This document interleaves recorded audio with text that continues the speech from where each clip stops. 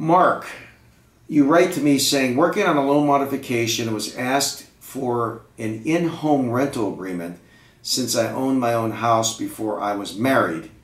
Is this a standard rental with my spouse? She provides partial income. Here's the way I understand it's worked. I've talked to lawyers that do nothing but loan modifications. Let's say you're not even married and somebody's contributing to the income. Uh, you're leasing out, you know, a bedroom to somebody. In order to qualify for the loan mod, they want to know any other income from within the home. So yes, they would want a rental agreement showing that somebody's contributing $400 a month towards the payment on the house.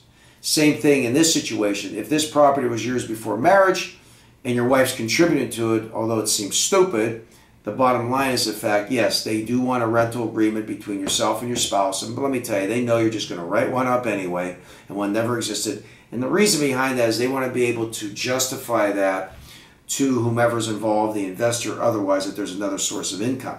I have seen, by the way, some rental agreements that once they're produced, they deny the modification because they say there's enough income there. You should raise the rent on the person you're renting from in order to make the mortgage payment. So it cuts both ways. But yes, they have the right to ask it. And don't forget, if you don't give it to them, they probably won't approve the, approve the modification. Modifications still have to show that you have hardship. And remember, most of them are band aids because if the value of the property is not there, ultimately you'll default and tell the people to take it away.